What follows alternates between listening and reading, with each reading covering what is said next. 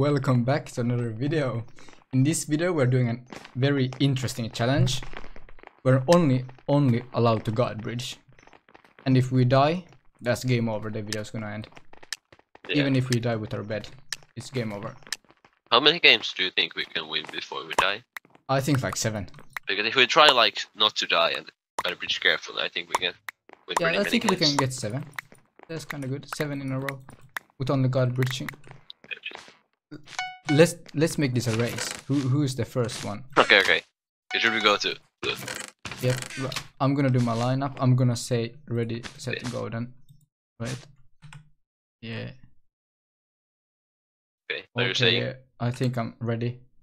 Ready, set, go. Oh!